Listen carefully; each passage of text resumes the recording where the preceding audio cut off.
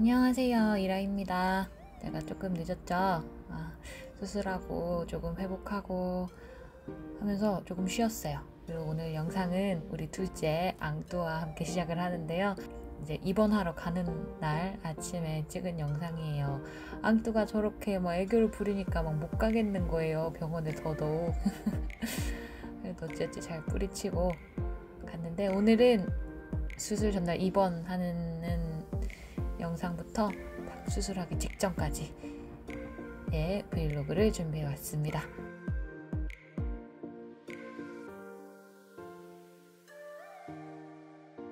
요즘에는 코로나 때문에 병원에 상주하는 1인 보호자 외에는 면회가 전면 금지되어 있어요. 그래서 보호자는 이렇게 출입증을 가지고 있어야만 병실을 올라올 수 있고요. 나머지 이제 사이버 병문안이라고 해가지고 이제 뭐 편지를 보낼 수 있긴 있더라고요. 그래서 저는 두 통의 편지를 받았습니다. 고마워 고마 하느라 정맥 주사는 아니고 피부에 알레르기 현상 확인 네, 확인합니다. 저는 1인 병동에 들어갔는데 들어가자마자 이제 이렇게 알러지 때문에 검사를 해주시고요. 이렇게 환자 식별표도 붙여주십니다. 제가 준비해 간 건 물티슈, 수건, 세면도구, 일회용 속옷, 간단한 화장품, 아이패드, 그리고 충전기, 프로바이오틱스 이렇게 가져갔는데요. 다른 것들도 물론 챙겨갔지만 제가 썼던 것만 이제 나열을 해봤어요. 막 블로그나 이제 네이버 후기 같은 거 찾아보면 건조하니까 팩을 가져가라, 마스크팩을 가져가라, 뭐 그런 거 가져가라 하는데 간단하게 갑상선 반절제 받으시는 분들 아니면 갑상선만 이제 전절제 하시는 분들은 어, 뭐 그러실 수도 있어요. 하지만 이제 양쪽 림프절까지 이렇게 다 떼내는 저는 그런 팩 뭐 그런 할 여유는 없어가지고 이렇게 가져간 것만으로도 충분히 생활을 할 수 있었고 이 프로바이오틱스는 제가 왜 썼냐면 수술하고 나면 어, 변을 보기가 그렇게 힘이 들어요. 약을 챙겨주시기도 하는데 저는 좀 너무 늦게 얘기해가지고 이미 너무 힘들었던 상태였거든요. 그래서 저 프로바이오틱스를 원래 하루에 한, 한 포가 두 포인가 먹어야 되는데 저는 한 번에 막 세 포, 네 포 이렇게 털어놓고 막 했거든요. 그래서 이제 변비약이랑 융화가 잘 되면서 드시는 프로바이오틱스나 유산균제가 있으면 가져가셔서 간호사 선생님한테 물어보고 먹으시면 아마 쾌변에 도움이 되시지 않을까 하면 저는 도움을 굉장히 많이 받았어요. 네, 수술 동의서를 작성하러 갑니다. 먹고 있는 약도 없고요. 네, 그냥 영양제만 먹어요. 영양제만 드시고 박성훈 수치는 괜찮아서 다행히 수술할 될것 같고요. 아, 네. 내일은 우리 두 가지 수술을 할 겁니다. 갑상선, 암 조직을 좀 제거할 거예요. 여기 우리 부갑상선이라는 게 있어요. 갑상선은 원래 기능이 우리 몸의 대사, 대사를 늘려주기도 하고 줄여주기도 하고 하는 방법입니다. 수술 방법은 우리 내 양측 목에 있는 림프절도 커져 있는 거나 아니면 안 커져 있든 다 보이는 건 다 제거할 거예요.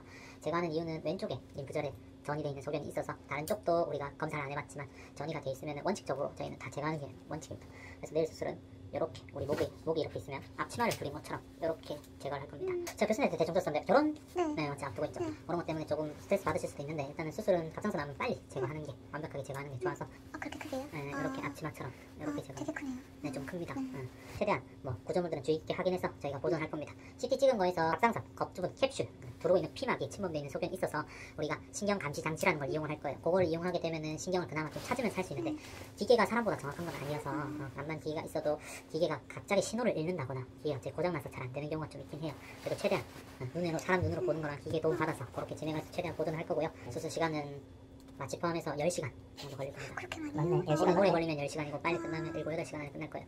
다행히 환자분께서 제, 제 기준에는 그냥 지방이 좀 적어 보여서 어, 제거해야 되는 우리 뚫고 들어가는 데 지방이 좀 적어서 괜찮을지 몰라도 오히려 외소하시다 보니까 구조물들이 되게 비좁게 들어가 있어요. 사람 몸에는 다 필요하니까 좁은 사람들은 바짝바짝하게 붙어 있을 거예요. 그래서 시간이 좀 더 걸릴 수도 있는 거 있어요. 그래서 들어가 봐야 합니다. 좀 이따. 네. 갑상선에 주요한 혈관들이 이렇게 있는데 우리가 이거는 다 필요 없으니까 다 결차를 할 겁니다. 네, 결국엔 다 혈관들은 다 없을 거고 네, 수술 후에는 우리 방사선 요오드 치료가 필요하십니다. 지금은 저 그 반의 세포 검사에서는 유두 세포 암이라고 나와서 이놈은 무조건 방사선 요오드 치료를 나중에 퇴원하시고 내분비내과 가셔서 치료를 받으셔야 됩니다. 연고도 최대한 열심히 발라서 흉터 안 당게끔 최대한 해볼게요. 해보는데 어쩔 수 없이 흉터는 생길 겁니다. 네, 그건 아셔야 되고 자 이제 중요한 것 좀 설명드릴게요. 자 첫 번째 부갑상선이라는 게 있어요. 부갑상선은 우리 기본적으로 4개가 존재합니다. 요놈이 하는 역할은 우리 칼슘, 그 다음에 인, 요거 우리 뼈나 아니면은 다른 근육에서 쓰이는 그런 것들을 조절하는 호- 그 전해질인데 요놈이 만약에 없어지면은 남기고 나올 수 있으면 남기고 나올 텐데 확인이 조금 힘들어요. 왜냐면 되게 지방이랑 똑같이 생겼는데 작아요. 굉장히 작아요. 최대한 교수님 제 수술 잘하시고 하니까 찾으려고 했는데 안 되는 경우에는 갑상선 약은 갑상선을 다 없애야 되니까 먹어야 되고 두 번째로 칼슘 보충제를 맨날 먹어야 될 수도 있어요. 칼슘이 몸에 칼슘이 없으면은 갑자기 기절할 수도 있고 팔이 막 계속 떨리거나 저리거나 이런 증세가 있을 수도 있습니다. 그래서 제가 맨날 회진을 가면은 항상 물어볼 거예요. 손 떨리냐고. 네, 그거를 제일 많이 물어볼 겁니다. 네. 그렇게 할 거고 최대한 살리도록 할 건데 없어지는 경우에는 칼슘 보충제를 먹어야 됩니다. 수술하고 나면은 우리가 이렇게 째다 보니까 아무래도 수술 범위가 길다 보니까 피가 좀 많이 나요. 피가 좀 많이 나면서 수술이 하고 나면 피가 좀 찰 수 있거든요. 피가 좀 차거나 하면 우리 다시 지혈 수술하러 들어가거나 최대한 그 피나는 부위는 결찰하고 묶고 지지고 해서 다 없애는데 우리가 피주머니를 이렇게 세 개 정도 달고 나올 거예요. 중간에 하나, 오른쪽 왼쪽 이렇게 하나 나올 거 달고 나올 건데 이걸로 빼는데도 계속 찬다 이러면 우리가 피 차면은 우리가 피가 차면은 어느 정도 경과 보- 지켜볼 수 있는 건 지켜볼 수 있는데 너무 붓고 이럴 수도 있어서 다시 지혈 수술하러 들어가야 될 수도 있어요. 갑상선 뒤쪽에는 우리 이렇게 대동맥이 이렇게 있으면은 이쪽으로 우리 대도리 후두신경이라는 게 지나가요. 오른쪽 왼쪽에서 네, 대도리 후두신경이 하는 역할은 우리 말 말소리 내는 성대 움직이는 용도로 이용이 되는데 요게 손상이 되면 저희가 그 신경 감시 장치 이용한 이유가 요 신경을 일단 좀 중요시 여기서 말하는 것도 중요하니까 요걸 찾아서 할 건데 요게 손상이 되면은 말소리 내는데 좀 쉰목소리가 난다거나 그럴 수가 있어요 평생을 어. 일단은 뭐 재활치료는 해보고 안 된다 싶으면 뭐 신경 문합술을 한두 번할 건데 최대한 찾으면서 진행할 수 있고 수술 후에 목, 목소리가 좀 변한다거나 그럴 수도 있습니다 두 번째 바깥에 우리 목 쪽에는 우리 여기 목 정맥이 커다란 게 있어요. 두 개가 이렇게 지나가는데 우리가 최대한 림프절을 떼내면서 양측에 있는 림프절을 떼내면서 보존을 하려고 할 건데 만약에 이놈이 신경 그 림프절이랑 굉장히 유착돼 있다거나 아니면 암덩어리랑 너무 유착돼 있다 하면 요거를 잘라야 될 수밖에 없을 수도 있어요. 잘라내게 되면 얼굴이 좀 붓고 뭐 이러실 수도 있습니다. 네, 얼굴이 좀 부을 수도 있고 제가 뒤쪽에 기관지가 있다 했지 않습니까? 우리 여기에는 얇은 인대가 이렇게 있는데 인대 위쪽으로 이렇게 갉아낼 건데 만약에 이쪽 인대까지 먹혀 있으면 기관지를 조금 긁어서 상처 낼 수도 있어서 뭐 숨 차거나 뭐 그런 증세가 좀 있을 수도 있는데 그런 증상 있으시면 바로 말씀해 주셔야 되고요. 척수 부수신경이라는 게 있거든요. 네, 여기 하는 역할은 양옆에 이렇게 있어요. 척수 부수신경이 하는 역할은 우리 어깨 들어올리는 걸 역할을 해요. 어깨 어깨를 들어올리는 역할을 할 수 있어서 나중에는 여기 손상이 되면 팔을 못 올릴 수도 있어요. 자, 그 점도 아셔야 됩니다. 네, 그래서 좀 아프실 수도 있어요. 많이 아프실 수도 있어서 진통제는 저희가 드린 날만큼 드릴 거고 마지막 신경 네, 다 찾으면서 할 거예요. 지금. 네, 여기 우리 가슴 밑쪽에 어, 가슴 밑쪽에 미주신경이라고 이렇게 목 밑으로 이렇게 쭉 타고 내려가는 게 있어요. 요놈이 하는 역할은 기본적으로 우리 부교감 신경이라고 해서 우리 뭐좀 사람을 다운시키는 역할, 뭐 소화도 시켜주고 뭐 이런 신경인데 요놈이 신경되면은 손상되면은 이런 작용이 좀 덜 될 수도 있는데 저희 쪽에서는 좀 더 중요시 여기는 게 목소리를 내는 성대 거 얘도 좀 관여를 해요. 얘, 얘가 손상이 되면서 또 목소리를 좀 잘 못 말하거나 그럴 수도 있습니다. 그리고 또 이쪽에 우리 쇄골 위쪽에 가슴관이라는 게 있어요. 암주관이라고 해서 암주관이라는 게 있는데 요놈이 손상되면은 또 이쪽에서 지방이 우리 지방을 이동시키는 전달기인데 요놈이 손상되면서 지방이 이렇게 새면서 가슴 쪽으로 찰 수가 있어요. 그러면은 흉부외과 협진이 좀 필요하거나 아니면 약으로 먹어보거나 아니면 심한 경우에는 수술해서 어, 가슴 감을 꽂거나 해서 하거나 아니면 여기를 다시 결찰해야 될 수도 있어요. 네. 네. 일어날 수 있는 일 모든 걸 다 설명드리는 거고 어, 그렇게 하시면 될 것 같고 어, 안될 것 같은 경우에는 수술 범위가 좀 시야를 넓히기 위해서 좀 더 절개가 좀 많이 될 수 있다는 점 미용적인 문제가 발생할 수도 있어요.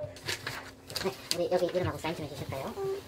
수술은 한 8시간 생각하고 있습니다. 네. 아침 8시에 시작하면 마치 그 수술이 길기 때문에 뭐 여기 굵은 혈관도 잡아야 되고 여기 동맥 혈관도 잡아야 되고 아마 서펜줄도 할 거거든요. 그래서 다 하면 수술 시작부터 한 9시에 시작하면 아, 한 끝나면 4, 5시 좀 빨리 끝날 수 있어요. 우선은 왼쪽은 엄청 많아요. 많은데 오른쪽은 그렇게 많지는 않아서 근데 결국에 다 확인을 해야 되거든요. 그래서 4, 5시라고 생각할 거고 어, 오늘 그 피검사 하나만 더 할게요. 혈액형 우리 검사에서 수혈 좀 받아야 될 수도 있어가지고 수혈 검사 좀 해야 되고 그거 말고는 하고 나서 아픕니다.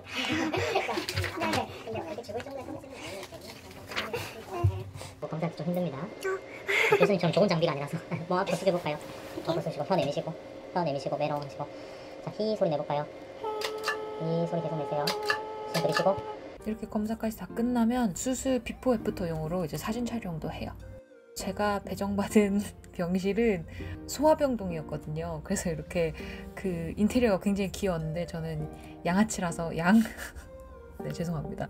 제가 영상을 찍었는데 그 영상이 날라가가지고 사진으로 대신하는데 꽤 쾌적하고 네 괜찮았어요 이른병동. 저를 공포로 몰아넣었던 아 수술동에서 이제 저녁을 먹는데 이 카톨릭 대학병원이 너무 편안하고 쾌적하고 다 좋은데 밥이 정말 더럽게 맛없어요. 그래서 핫바 로 저녁을 때우고 내 사랑 하리보 하리보를 먹습니다. 하리보.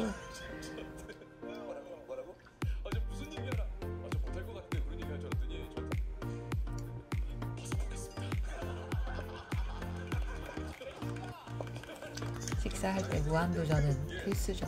식사를 마치고 있으니까 이제 아까 얘기했던 피 검사를 하러 오셨어요. 어후, 그리고 이제 대구의 아름다운 야경을 보면서 잠을 잡니다. Good night. 그리고 good morning. 야, 아침에 눈이 일찍 떠졌어요. 수술할 때 입으라고 이런 스타킹을 챙겨주시더라고요. 필수적으로 착용을 해야 한다고 해가지고 착용을 하고 이제 꿈 얘기를 하고 있어요. 저는 제 동생 중에 나영이라고 있는데 나영이를 못 살게 구는 어떤 사람한테 미친 듯이 쌍욕을 하는 꿈을 꿨거든요. 쌍욕하는 꿈. 좋은 꿈이래. 그러고 보니 수술복을 입고 있네요. 난생 처음 입어보는 수술복.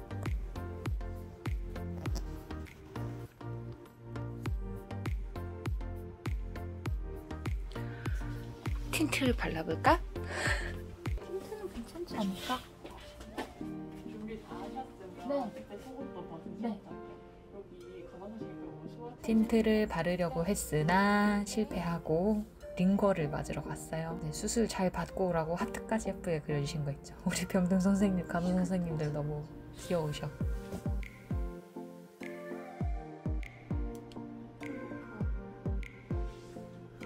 준비는 하지 말아줘요.